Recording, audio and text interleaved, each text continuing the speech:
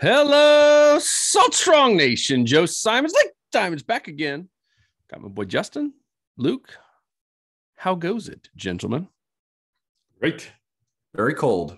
Chilly. It is a chilly day. Chilly, rainy today as we're recording this, and um, that happens to be the topic of today's podcast is wintertime fishing, in particular live bait versus artificial lures. I'm going to start off with a funny little story. So last weekend, I was at the soccer field, spending a lot of time at the soccer fields with the kids. And we were watching Savannah's game, and I met this guy who was uh, related to uh, one of the other soccer moms there at the, at the field. And um, we were just chatting, and turns out he's a big fisherman. And, and so, you know, I, I told him what, what we do. And and he's like he's like so you guys like use a lot of lures huh? He's like i've seen i've seen salt strong i've seen your stuff before. And i was like yeah. I was like it it, it it's kind of liberating. It's given us a lot of freedom and control. And he's like man i just i wish i could do that. He's like i've been a live bait guy and i'm guessing he was 65ish maybe 70 and he's like you know got grandkids there that he was watching. He's like i I I just I feel like I've been doing live bait my entire life and I don't I just don't think I could do it at my age. And I was like, yeah, yeah, you can. As we had a long discussion, but he was like us. Remember, Luke, we just kind of gave up. You know, if basically if we couldn't throw a cast net, which is his thing, he's like, if I can't go out and get, you know, get live bait, get white bait there and uh in, in Tampa area where he lives, he's like, I just I just don't fish. I just kind of hang hang up the cleats, hang up the wading boots, if you will, for the uh for the winter time. And uh, and it hit me i was like man that's so many of us. And, and, that was us. It's a lot of people. And and we missed out on some of the best bites. So i just want to put that out there first. And, and, we're not trying to poo poo live bait. Justin just had an epic uh, trip just a week ago with with live bait. We use cut bait um, everybody uses shrimp. Um, but there are times when it does make more sense to use lures and winter can be one of those. So who wants to kick this bad boy off with either nope. a story or a specific type of species or lure or live bait? I'll, I'll start at the at just the macro level. Uh, just for my my personal opinion is that for the wintertime, for the typical weekend warrior who's going out maybe uh, once or twice a month, is that for the wintertime, lures actually give you an advantage. And the reason why is because the fish are going to be in pockets. They usually congregate together. So it's not like the summertime where they're spread out and, and pretty much you can go to any good looking spot and there's going to be some fish there. In the wintertime, you could pick, you know, six, seven spots based on trends, and maybe two of them are going to be good, but they're going to be really good. So there's going to be a lot of fish together and when you're using lures, the benefit of lures is you can cover water more efficiently and quicker. And so if you can cover more water faster, odds of you coming across those good pockets of fish is going to skyrocket. Whereas with live bait, you might go to a good looking spot and you have to, to actually effectively fish you have to you have to spend a lot of time. And if you don't just get lucky with picking that good spot right away, you're going to fail. And, and that's why Joe Joe mentioned it. Like we used to never even fish in the wintertime because we tried it we would get live bait. We would spend longer time catching bait, which is tougher to get in the wintertime. And then we would go to these spots that we used to fish, right? Typically, we go to our summertime spots, not like not reassessing our, our plan and thinking about where the fish are going to be. And we failed to the point where we thought the fish didn't feed. Like remember, we used the term lockjaw. Oh, it's yeah, too well, cold. They're hibernating like bears. Yeah. came in, have, they have lockjaw, and that that was that that's so far from the truth. And and eventually, once we started doing lures, now wintertime fishing is my favorite because when you do get those pockets of fish, it could be the most amazing, mm-hmm. amazing fishing of the year. So just want to put that macro view out there where if you're in that boat where where it's all about live bait and, and you don't like wintertime fishing, like just just try it. Just leave live bait alone. Don't even mess with it. Take some small jigs, some small little little shrimp style jigs or little paddle tails, bounce it on the bottom, and, and you can have some amazing fishing and that was my feedback to that gentleman. I, I gave him a, a, link, you know, to our store, and I said, get Power Prawn and get Slam Shady, and get a couple different jig heads, and make sure you're going slow, just like bass fishermen in the winter. I mean, you, you slow things down, got to make sure you're on the bottom. But I was like, if you can find that school of redfish, trout, snook, whatever it is, you ain't just going to find one or two. You're going to find a bunch of them. And so stealth and uh and and keep it so simple with the lures, right, Justin? Oh, oh, it reminds me of a song from back in the day. And my hair is not long enough to do this. Um, simplicity specialist. Love it. Never gets old. Simplicity escape. specialist is the name of the game. and, and and Justin, you know, with you, we, we talked about this offline. It- it- we talked about the, these little crabs that have become. I mean, there's a couple companies now who have made massive amounts of of headway and um and really have proven that it can work on these little crabs and you know we see in both our facebook group and in our private insider community there's a lot of people saying man i, I want to catch sheepshead this winter where where can I go buy fiddler crabs? And all these bait stores are out. Like it's really really tough right now for whatever reason this winter to even find them uh, in a baits in a tackle store. And so now we've got these cool little artificial lures that are crushing it. You got what's which one's that right there? For those of you listening, who's holding That up? is the new Savage Gear Duratech crab. They have this thing is, I mean, to the point where look at the design on the belly. It looks like an egg sac. Like, and that's actually the weight that's mounted inside of this lure. This uh, the hook is built up inside the jig head of the lure. And you know, we've spent a lot of time here recently playing with these things underwater. Tony went out and on his first day testing them out for like a quick 30 minute trip. He caught two sheephead from land like on on the this is the smallest crab that savage gear makes. They make a three quarter inch size tiny tiny soft plastic crab and i think it's actually the smallest artificial crab on the market which is awesome for sheephead because they got really tiny mouths and you're not going to have to worry about them stealing a bait off the hook especially when that's pre-mounted. It's a tiny little morsel for them and your hookup ratio is awesome. So tony was a big fan of it. We've been playing with savage gear makes some Chase Baits makes a crusty crab that's been around for a while that's good. There's a couple other companies like Weston Cocoa Crab and the Cranka Crab. And we're trying all of them out to see which ones really are like the king of the crabs, which one's really the king crab. And, uh, and I think the Savage Gear we've been really impressed by here lately. Um, sinks a little bit faster through the water than the crusty crab, which is great, I think, in shallow water scenarios because those arms slow it down on the descent. But if you're fishing, like you said, Joe, you're finding some deeper pockets, some bridges, some holes, some docks. This gets down in the water much faster, and you can make contact vertically a little bit, little bit better with uh, with this style. So I, I really like these guys. Pretty cool. what what is that? A What lure for aunts? It's got to be at least Yeah. three times bigger. I agree. Hold it up to the camera. So I have a vision. So do I. Let me show you mine. Derelict. Oh, jeez. um, he, here's what I'm hearing about like this crab and lures. If you haven't put it together, it's the time saving, right? Luke Luke touched on it. You know, in the summertime, it can be easy to find bait. If you can throw a cast net or even sabiki in the right area, you can load up a live well really fast. In the winter, sometimes it's impossible depending on the front and which way the wind's going. I mean, it- eh, sometimes you could literally find zero bait, or it could take you all day, even just to go find some pinfish. And so this is all about saving time, right? And, and that's what I told him. I was like, man, it, it's kind of nice where you can go out from shore like Tony did. I mean, literally on his lunch break to catch fish when you have some confidence on using artificial lures. I remember when I had Mike Anderson on Reel uh, Reel Animals.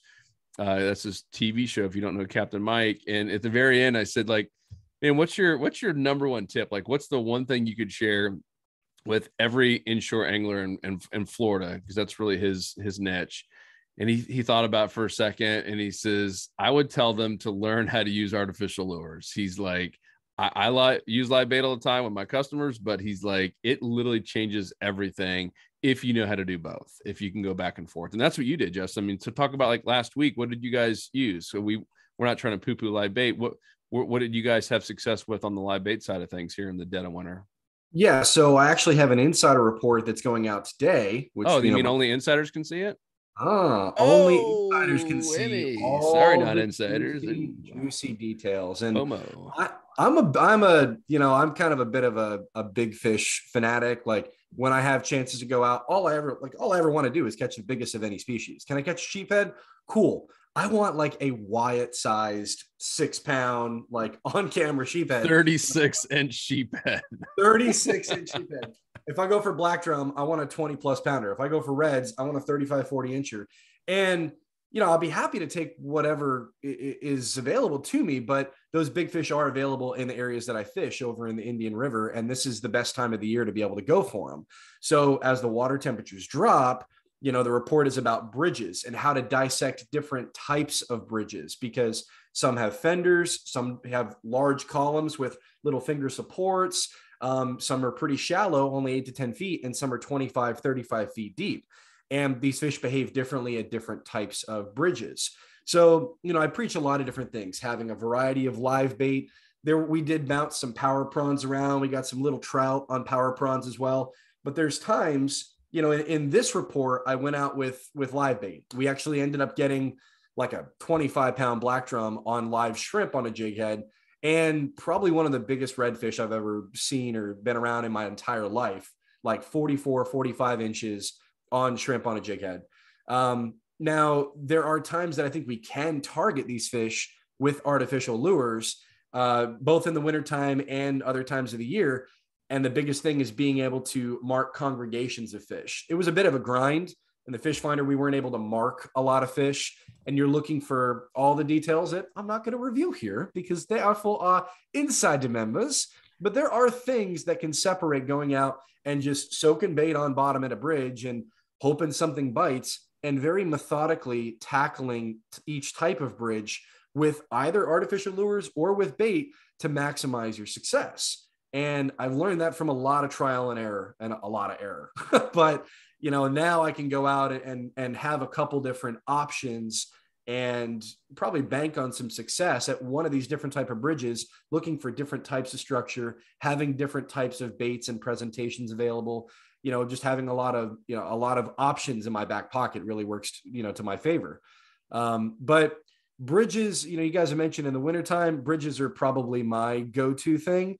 Uh, artificial lures and the best time to apply them, Luke, I think the reason why we would favor using artificial lures in the wintertime is because yes, that 90-10 rule is definitely more applicable now this time of the year than other times of the year because you'll go to five spots and maybe one has a pile of fish in them and you can methodically dissect that area with artificial lures. You can present the offering better sometimes with artificial than you can punking a piece of live bait out and uh, even a lot of times if guys go up shallow like later on in the morning when that sun gets high and it starts cooking up the bottom like a dark muddy bottom area and redfish and black drum and even big trout move up super shallow you don't want to plop a live shrimp out there because that's that's a pretty loud lure. You want something that you can use an artificial shrimp that's a little more streamlined. It's not going to land sideways, it's going to land nose down. You can use a slam shady or a gold digger, pop the tail off, and you have probably one of the quietest landing artificial lures out there. So you can target these fish that are sunning themselves up really, really shallow later on in the day. And you know, I I mean, I later on in that video, I tried to sight fish a school of black drum that were tailing. And because we had caught those fish earlier on live bait, we threw the live shrimp on a jig head out. We threw the half crab on a jig head out, and we kept spooking them because the the sound of that live bait hitting the water would spook the school off, and they didn't want to eat.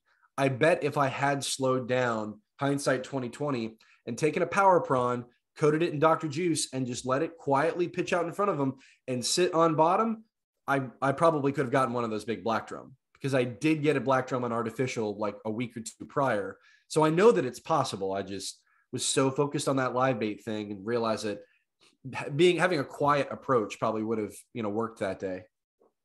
Yeah, for sight fishing especially, the the artificials have an advantage because you can just cast further, right? You can use a small lure and really let it have it. Whereas with live bait, like you're free lining a shrimp, just to, to have it have not a, a big splash, ideally the smaller shrimp you use the better but you just can't cast one like you have to be a lot more gentle with with a natural bait otherwise it's just going to fly off the hook um, so so yeah for i think for sight fishing lures is is a huge advantage uh, but even just on the covering ground right like uh, like joe we did a podcast video i guess that was a couple years ago with uh, we were out there with uh, with will cap will mason um, doing a, a tip on just how to find fish in the wintertime on a boat without a trolling motor Yep. It was a Freedom Boat Club boat, no frills fishing wise, right? It was just a normal, it was like a 22 foot center console, no trolling motor, no nothing fancy. And we ended up getting like 50 to 70 trout. Like it was insane. We, but it took a while. We actually trolled for a while. We found the pocket of fish, right? We found the, the 90 10 zone. In this case, it was like a 595 zone. And the fish were just hunkering down in this one pothole. And we just caught fish after fish after fish, throwing what Justin mentioned a little small nub lure. It was a Slam Shady 2.0 uh, with the tail cut off. I literally had 10 casts in a row where I caught a trout. Like literally just back to back to back. And, and it, it was that was made possible by the fact that we covered a lot of ground beforehand. So we covered a lot of ground, kind of moved relatively fast, then found the fish, then we slowed down. But even either way, fast or slow, lures can work. Whereas with live bait, it has to be slow. You can't really, you can't troll live bait. Really, we never would have found that that spot. Yeah, we, we would have we would have spent our whole day fishing those those earlier spots that we just breezed over because there was no fish there. And then um, so lures I, I just can't um, can't specify enough how just how important uh, at least giving them a shot is. And i personally recommend to give them the only shot where literally force yourself. My the only the when i finally got the the saw the light and i started having success is when i forced myself like five trips in a row to not even bring the cast net, not even bring any hooks. Like even if I somehow snagged a pinfish, I wouldn't let myself use it, and I would just use lures and just keep casting. And that helps in multiple. You can cover more ground. You get a lot better in your casting ability, which we we ask guides too. What's like the number one thing you you would say to to your anglers as far as what they can do to help themselves catch more fish? And casting is always the first oh, the yeah. first thing because most people are live bait only, where maybe you're making 50 casts a day right? If you're using lures, you're making like 100 to 200, and and just the repetition is going to make sure you get better and better. So there's just a lot of benefits uh, of just of just trying lures and just making yourself have no other option. Yep. And to be very clear, we were live bait guys. You know, that's what we grew up doing. I remember Luke, I went to Georgia Tech. You know, I, I'm a couple years older than Luke. I go off to Atlanta, live there, and and I would start coming back and we would do our little annual fishing trip. And that was when Luke was really getting into lures. And I thought he was just back crazy. I was like, what are you talking about, dude? We got this live bait. Like, why are we going to use these lures? And and I get it now. And so I, I just share that with you that we we've been on on both sides and we still use some live bait. I mean, it's tough, especially with my kids and stuff. It's tough to argue with shrimp. Uh, but uh, here's here's another reason, especially in the wintertime. What's one of our favorite places to fish? The fa- uh, type of structure in the winter. I'll give you a hint. It rhymes with socks. docks. Docks are great in the wintertime. We've had so many amazing videos, experiences fishing docks, and it can be tough to sit there and pitch live bait underneath, you know, some of these docks. It's a whole lot easier to, and to find the right dock that has the 90-10 zone to sit there and use your trolling motor and just start whipping and and slinging slam shadies and power prawns underneath the docks and popping them off the bottom. Uh, I couldn't imagine doing that with with live bait. It, it's just so much tougher. I mean, they don't skip very well, uh, and you know, and you I, I I don't know that we could even like fish some of those docks with live bait, especially when the the current's ripping. It's just so much more tough to to control that presentation. Whereas a lure, you get the right jig head, you get the right weight where it's hitting the bottom. You pop that sucker off a couple times, and you'll know pretty quickly if there's some fish down there. Yeah, and it, it kind of goes the same way as far as dock fishing. Because I do a ton of that, especially here in St. Petersburg. There's most of the shorelines are developed, so docks are everywhere, and and the same premise holds true. The earlier example was for trout on the flats, where we found that hole with a bunch of trout. The same thing holds true with docks, where there's a, a line of, say, 50 docks with lures. You can literally just fish them pretty efficiently and, and, and relatively fast. And, and again, get like a power prawn jig is my favorite. Power prawn on jig head, bouncing around the bottom right next to the pilings is amazing. But what that does is that enables you to, to figure out which docks have the most structure. Ideally, you rig it weedless so that you can feel the structure without getting snagged. Some people sink stuff under the docks. Um, I don't know if it's legal or not, but it sure does bring fish. And so when you, after fishing fast, you can find the docks that have the most structure. Those are going to be the ones with the most fish. And that's when you can circle back on your next trip and use live bait, where you can actually single out a specific dock, take your time because live bait re- requires more time, and then actually target the, the, the best docks. If you're going into a dock line blind, using live bait is a, is a big disadvantage. But if you do know the two or three docks out of the 50 dock span that has the most fish, that's when live bait has a big advantage where you know where the fish are. you can effectively position yourself so that you can use live bait, um, you know, effectively, and that's when you can really let them have it. And um, so, so the dogfish can work with live bait, it, just like anything else. You just have to go a lot slower. You have to like really select a dock and then and then just fish it much much slower. Yep. I also think you save money uh, with with lures. I mean, cost of remember how cheap shrimp used to be? Like to buy a couple dozen shrimp now, geez Louise, like filling up a tank of gas. Could be like close to five bucks a dozen now. It's just because it's hard. It's hard to come by. It's yep. like the supply and demand issues. Mm-hmm. Uh, and some of the and if you try to buy crabs during certain times when it there's just not much supply, holy smoke! I spent fifty bucks on crabs for that day. Like it hurts now that I think about it. And in, in prior trips, I'd go and spend 15 bucks, 20 bucks on the same amount of crabs.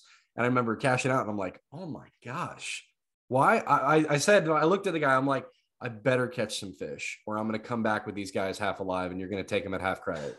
like, this is bad, you know. But you're right, Luke. Like, it is a time saver going out with lures. There's docks that I'll specifically fish in the wintertime and I'll only want to use uh, artificial lures because I'm targeting snook. And if I wanted to try to pitch a pinfish or a little pilchard or a shrimp up there, if you if you've got like 50 docks, I wouldn't be able to get through half the docks in, in the same amount of time that you would get through all of them with artificial lures. It would drive me nuts because we want to be able to maximize our efforts. Um, the really the only time I would kind of lean towards live bait, and it's it's probably fewer scenarios, is if I wanted a monster fish. That's not to say that you can't catch one on artificial, but you know they did get big by not by being dumb. So sometimes live bait's the thing to use, but depending on where, like what types of areas you're fishing, what species you're going for, nine times out of ten, artificial can get it done and can get it done more efficiently. Um, and it, like me in the kayak in the winter, I don't want to take a live bait out. I don't want to get wet. I don't want to get cold. You know, that's the thing I'm worried about is uh, having to reach my hand back in the bucket and then my hand freezes and cramps up and I can't like get a good grip on my rod. That drives me nuts. I know I know Tony caught some monster bull reds in the month of February, you know, using cut bait, going to some of those little inlets and deeper pockets where he knew there's a school of redfish or, or black drum, but he had some of those big reds. Remember that he's he's in full on winter gear, and, and so that is a time when you're when you know where they are, right? And and you're and and you really just want to catch a monster. I I'm all for that. Using I think he was using cut cut mullet.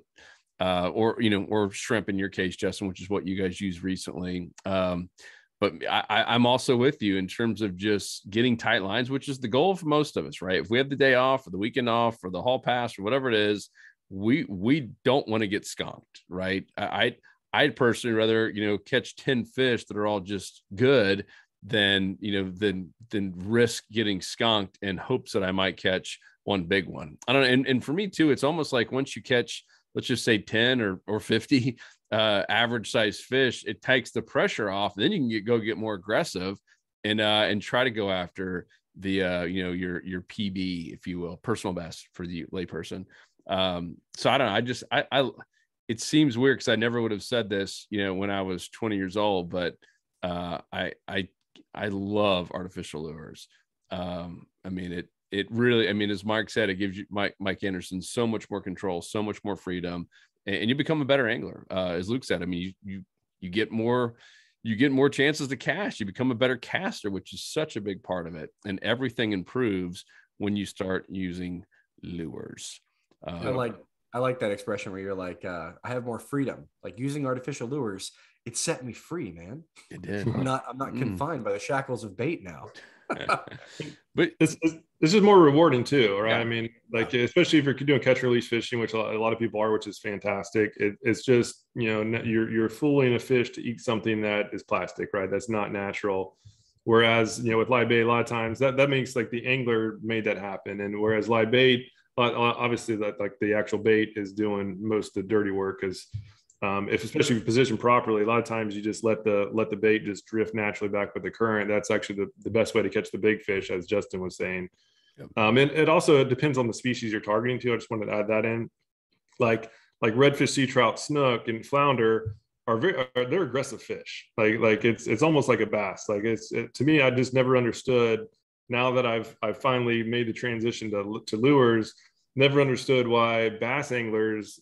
I would say a majority of bass anglers are using lures throughout the entire year to target largemouth bass, and then people targeting redfish, snook, flounder, and trout are almost always using live bait. And, and I would actually say that the saltwater fish are as aggressive, if not more aggressive, than largemouth. And and so for that reason, when I'm going after those species, I, I now rarely use live bait. I'm, it's pretty much all lures. But if I'm going after sheep's head or mangrove snapper, they they're not quite as I guess. I, let me just say sheep's. Mangrove snapper are pretty aggressive, but for sheep's head in particular, I love I love catching sheep's head, and that's you know uh, everything else has been closed to eat, and I like having some some nice fish fillets, and sheep's head are delicious.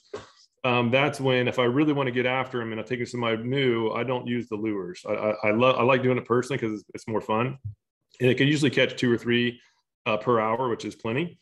Uh, but if I'm taking somebody new that isn't the best caster, then then live shrimp is hard to beat uh, because sheep's head aren't as aggressive. Like they're not going to chase down a lure from a long distance like a redfish or a snook would, or especially trout. You know, you basically have to get it right in their face and have it drop perfectly down. If you're fishing dock piles like you normally do, have that crab lure that Justin showed earlier, like drift, sink perfectly down the down the. And if you're a foot off of it, you're not going to catch anything. Um, whereas with with with a natural bait, you can soak it down there, and they'll eventually smell it and find their way to it. Yeah, that little crab there is awesome. Um, so, so for sheep's head, live shrimp is really hard to beat. But if you're going after snook, redfish, trout, flounder, like lures really are effective because uh, those fish are aggressive. It's not like you have to put it right on their nose and or else they won't eat it. They'll actually chase it down unless it's super cold. But but either way, like lures just flat out work. You know, one thing we didn't point out is that lures help eliminate the chance for bycatch you know, if you're going to use bait on bottom, you're going to, you're eventually going to have to deal with stuff you don't want to catch catfish, stingray, pufferfish, pinfish pecking apart your shrimp. Sometimes you'll put a shrimp out there and you'll go through 10 or 15 shrimp and either get pecked off or, or get some sort of pesky fish you don't want to deal with to get that one quality fish. And if you use artificial and you dedicate to it, not only will you save time and fish more effectively, but you're going to increase your chances of catching the fish you really want. I mean, when I'm like offshore, believe it or not, if guys go offshore, just for example, regardless whether it's winter or other times of the year, they take bait because they want to fill their cooler. I would rather go offshore and use only artificials. I'm that weird guy. Yes, it's very gratifying, Luke, but you know, there's times that, yeah, I don't want to deal with bycatch. I don't want to drop down 200 feet and then have my bait be picked off and not know it. And I'm sitting there fishing on credit for five ten minutes, not fishing effectively. Hmm. So lures definitely, uh, you know, they, they have more pros. I think they out, it, there are more benefits to using artificial lures than live bait here. Yeah, and even got, I'll go for it, Luke. I was gonna say even the power prawns, like I I never would have considered using lures on like near shore reefs until we fished with one of our insider club uh, members, Marcos, uh, down in the Everglades. He's the one that that really kind of got us got us trained on on the shrimp lures and, and and just how effective they are.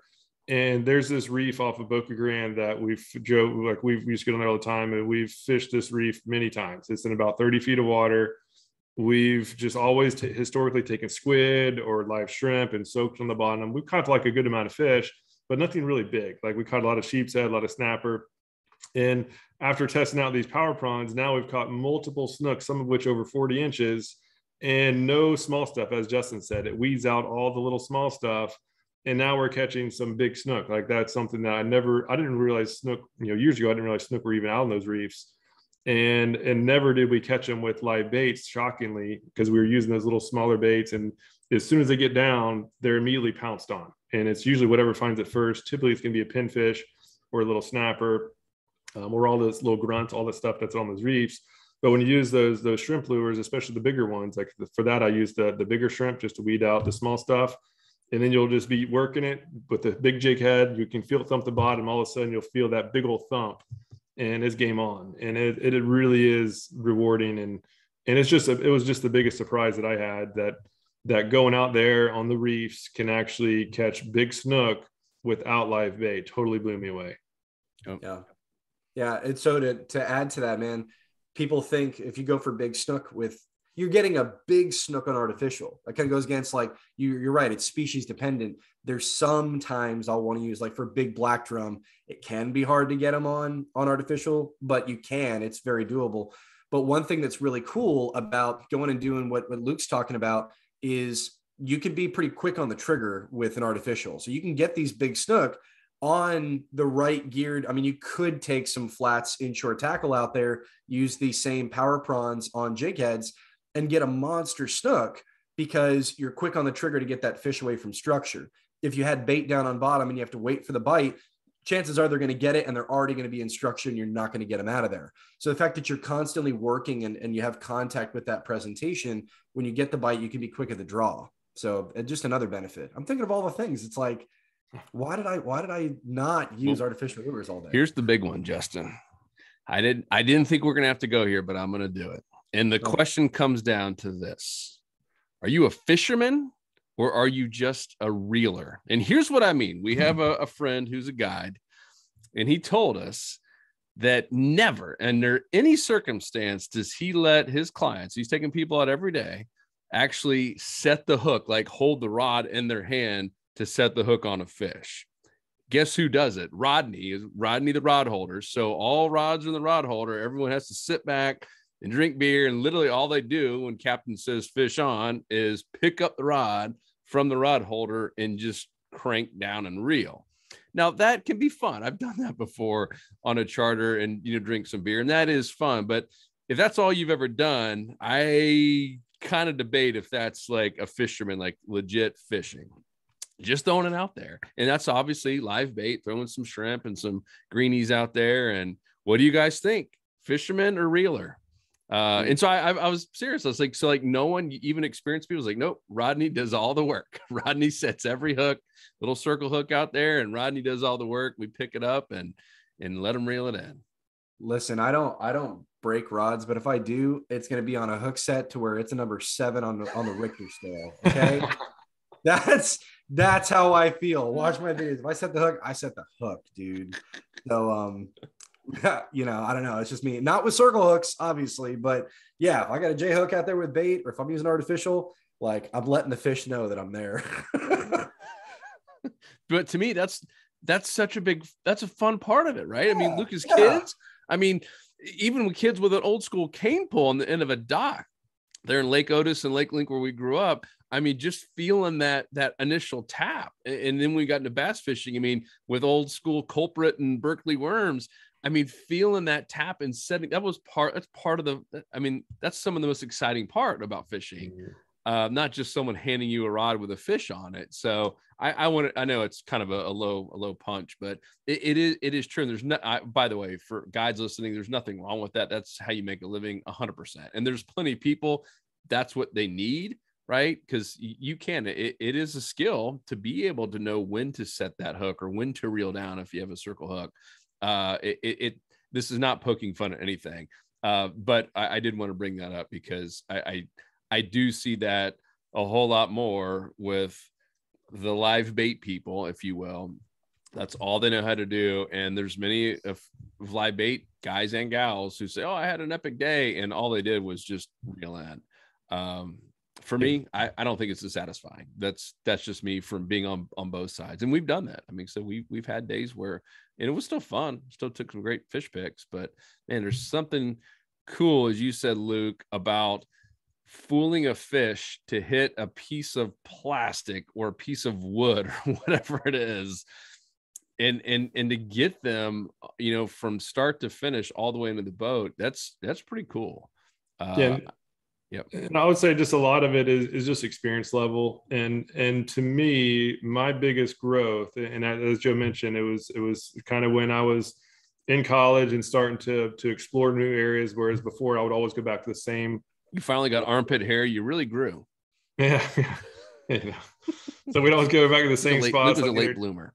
Either Tampa or uh, or Charlotte Harbor and, and and we'd always just go back to the same spots over and over again and we'd always take live bait and there really wasn't any growth in my ability to to read water and and, and assess if an area is good or not and and that was just because i wasn't covering much much ground and it literally when i started forcing myself to only use lures, and I would only use one lure for that matter. I would use the the the uh, in that case the Zoom Super Fluke, and that because I use that for bass fishing, and I caught a couple snook with it. So I would literally just use the Zoom Super Fluke, and I, I moved over to Melbourne, and so I, I was in new territory. I've never fished before. And the biggest growth I ever had as an angler in a short amount of time was when I just had that Zoom Super Fluke and I had the troll motor up front and I would just go down the shoreline and I could actually see fish. I could cast to it and I could watch how they react. And then I could see where I could see fish and see where they're holding and where they weren't holding. And over time, I was able to quickly, when I go to a spot, I now could say, okay, I was in a spot like this under the same conditions, and I saw 12 fish right over there, like in this type of little little pocket of it and then I could quickly just find those pockets like faster and faster, faster. It's almost like a puzzle. Like every day is a puzzle, and you have to put it together. And the more experience you have putting the pieces together, the, the better you are gonna gonna be doing it, obviously. And if you're using live bait and you keep going back to the same spot over and over again, you're really not learning um, how to read water nearly as quickly. Yes, you are learning, not not learning anything at all, but it's just not it's not as quick. And so I, I just wish that uh, we're kind of poo-pooing on on live bait, but but uh, hopefully you can see our point. Like I I personally wish like had we switched earlier, had we made that switch five years earlier, right, or even more. I mean, think how much farther ahead we'd be. Like because that was five years. Yes, we were getting better, but it was very slow incrementally, and then just get rid of the live bait, getting rid of the, the baggage, as, as I call it, because it's baggage holding you back from actually exploring new waters.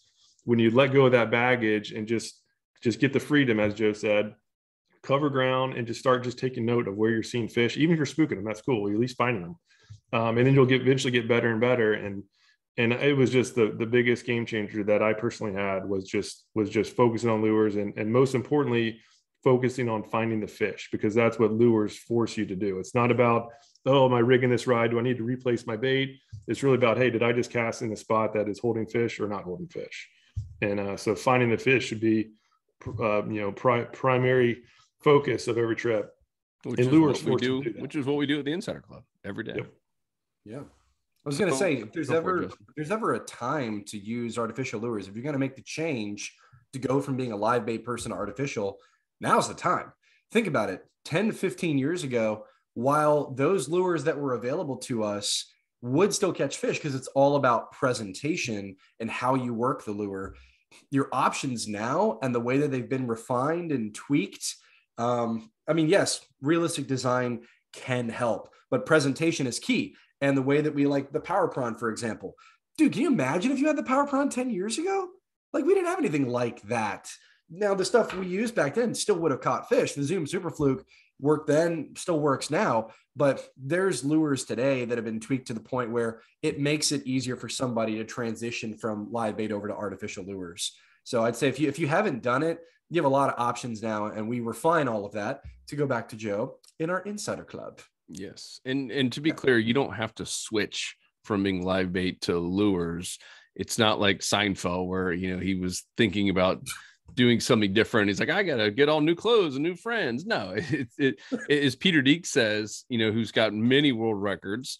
He's like the the the way to become a complete angler is to be able to fish with everything, including fly fishing, right? For him, he's like, I want to be able to be great at everything from fly fishing to conventional to uh, obviously live bait lures, whatever it is. He's like, that's a complete angler who can go up there and and and adjust and and and figure out what the trends are and read the water, know exactly what they need to need to use. And and that is, you know, one of our big initiatives with the Insider Club and why we focus on on fishing brand new spots every single day, literally Monday through Friday, we go fish a new spot and film the whole thing and, and put it up there. So if you're not an insider member yet, doggone you, uh, you are missing out. Uh, it is amazing on helping you find the fish, saving money on tackle as well, which we'll talk about in just a second.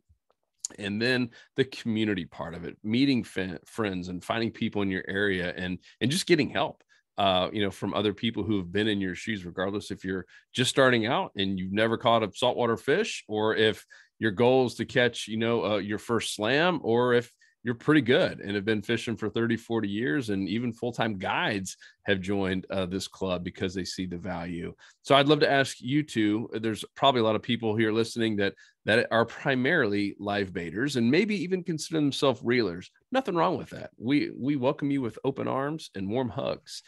But if they're confused on where to start, uh, I, I would suggest that, as Justin said earlier, keep it simple right? Simplicity is absolutely key. If you guys could just say three lures, like three wintertime lures to start, and, and maybe some correlating jig heads, uh, what do you do? We get to leave top water out. That's this is not the time where you go to Bass Pro and just spend five hundred dollars on every lure possible. Keep it simple, as Luke said. Go out with one or two lures and just own it. Like keep using those until you dial it in. So, what do you guys think? Luke, Luke and I are in first agreement on the first lure. One, two, three. Power prawn. Oh, oh, oh, oh. paper scissors. They're shady. Oh. Yeah, I, I, think I think for all water clarities, the the this just a paddle tail, right? Like just paddle tails flat out work, and and they take less um they take less skill, I should say, to use. So I think I think for somebody starting out, the paddle tail is hard to be. I think they should graduate to the power prawn, but the power prawn does require the angler to give it some some more refined twitches, if you will. Whereas a paddle tail works great with the twitches, but also you can just do a flat reel. Like, like we uh, we had a meetup, I guess a couple years ago, and Joe brought his daughter Sean at the time was like six or seven, and and she caught some some trout by herself, and we threw a paddle tail. We actually had to cast for her a little bit because just to help her get a long cast, but she was just reeling and looking around like not even paying attention. And all of a sudden, her rod's bend over and she's got she's catching fish. So I think that a small little paddle tail like the Slam Shady 2.0 would be would be a definite. And then I would say for me, number two would be what Justin just said. Sorry, Justin. no, no, I'm surprised. That's fair point. Yeah, if we just three lures to get started and do it and cover all the bases, I would say yes, paddle tail on the Slam Shady. Also add the contrast, which would be the gold digger, because there's going to be times that you just want to use different different contrast based on water clarity, you know, whether the water's murky or tannic or whatnot. So slam shading gold digger, paddle tail for sure power prawn. Power prawn is like I always have one tied on. So whether you're getting started into it or you've been doing it for a long time, this is hands down the most universal lure, I think. Um, I would fair to argue, I think Luke and I have a difference of view on it. I would probably use this, especially right now, over like a jerk shad, you know, over a jerk shad. I think um, the jerk shad does kind of appeal. It, it, can have a shrimp presentation, but especially right now when the water's cold and a lot of fish are targeting on crustaceans, whether you rig it on a jig head or you take it weedless and you're fishing around little patches of mossy grass or seagrass or even around oysters and you don't want to snag or docks if you don't want to snag. You want to skip up underneath and work tight to the docks. This can be great. I think the power prawn offers you uh, a lot of different ways you can present that lure but you're right. It does. So it's a little more advanced. We're going from like yellow belt to brown belt kind of thing. And and what jig heads, um, because we're going to send everyone to fishstrong.com to get this power prawn and slam shady 2.0. What are we thinking? A, a quarter for uh, for winter is kind of a must to get a little bit deeper. And what else? Yeah. Weed, uh, weedless for when they are fishing shallows in the middle of the day. So it is all about depth coverage. And that's that's so true. I think that if you're going to be fishing in excess of four or five feet, yes, a quarter ounce probably covers everything for the most part. A um, little bit of current, no current. If you're in excess of four or five feet, a quarter ounce jig head would be the way to go. Um, we have been testing; these are going to be soon available, depending on when you're listening to this podcast. These uh, these mag shroom jig heads actually pair really, really well with the power prawn. Uh, but we've also had success with Z-Man trout eye or redfish eye. The redfish eye works better on the regular power prawn, that original size power prawn, and the junior size is better with like a Z-Man trout eye. It's a shorter jig head. Um, and as for weedless, um, for the most part, if you're going weedless, you're you're fishing shallower water. While while you can fish docks, you know I, I sometimes will still fish docks weedless so that I don't snag. Weedless presentations like this, um, there we you know an owner twist lock what do you think, Luke? Like a four aught eighth ounce would be bigger for the power prawns, but for the slam shady, like the smaller paddle tails, 100%. It'd be like a three aught eighth ounce is probably the go to all around. Um, can work wintertime, summertime, springtime, doesn't matter. Three aught eighth ounce is probably the best overall size for paddle tails. Yeah, and, and the depth control is so crucial. And, and, so we, we have a guide for for matching the right jig heads or weighted hooks for the for the right lures. And so we'll make sure to put a link down below. And it's crucial because if the fish are down on the bottom in five feet of water and you're fishing a three foot depth lure, especially after cold front, those fish aren't gonna aren't gonna go up and, and but and get it. And but if you get down an extra two feet, you're gonna you're gonna have a heyday. So it's it's a big deal is depth control and choosing the right one, whether it needs to be weedless or not weedless, there's a lot of options. It can get confusing. So for that reason, we put together a chart that you can kind of match. Hey, I'm gonna I need this type of lure and this depth range, and it needs to be weedless. It'll give you the right one and the right the right size hook, the right size weight. So very important. So I'd say, like literally, um, those two lures, the the power like the the small paddle tail and the power prawn that's literally those two lures alone have been responsible for i would say 95% of my catches lately. So like i'm having a tough time getting a third lure to be honest. Um yeah i mean it could be the I, I, was i was leaving that open for the crab just because we talked about it if, if for winter and you really wanted to catch sheepshead but even oh, that's oh, yeah. a little bit more sophisticated than just you know going out with a paddle tail or a shrimp. I'll, I'll I will add one one more because in some areas um, puffer fish can be really uh, a huge pain where no matter how tough the soft plastic is you're using the puffer fish will bite right through it. And so when i'm in puffer territory if i'm getting a lot of a lot of lures come back with big with chunk marks out of it or the whole tail bitten off it's almost always a puffer.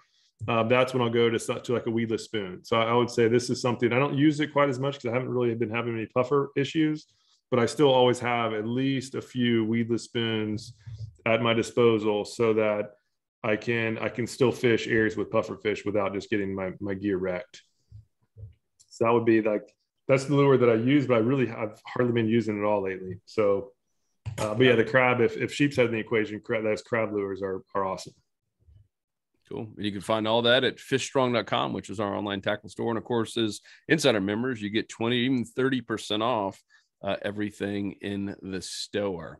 And if you're not a member yet, what are you waiting for? We actually have a 365 day, 100% money back guarantee. We basically built this because it was something that we wish was around when we were trying to catch more fish and, and we still learn from it every single day i'm in that community luke's in the community justin's the community all of our fishing coaches are in this private community every day learning from each other sharing what's working fishing new spots and, and we share everything we don't hold anything back. And uh, and, and as I said, it's everything we wish was uh was around. And and we also want to treat people like we wish other companies treated us. And that's why we have this unheard of 365 day guarantee. So we say either you're going to find and catch more fish and save money on tackle and meet new friends. And if those things don't happen and if you're not 100% satisfied for any reason get all your money back. So we, we've literally taken all the risk off of you and put it on us to uh, perform. All we ask in return is that you actually get in there and, and go through some of these courses. We throw in some free mastery courses. If you just go through those three courses alone, you will know more than like 95, 98% of, of all inshore fishermen out there. Uh, just those three courses, and then obviously start implementing it.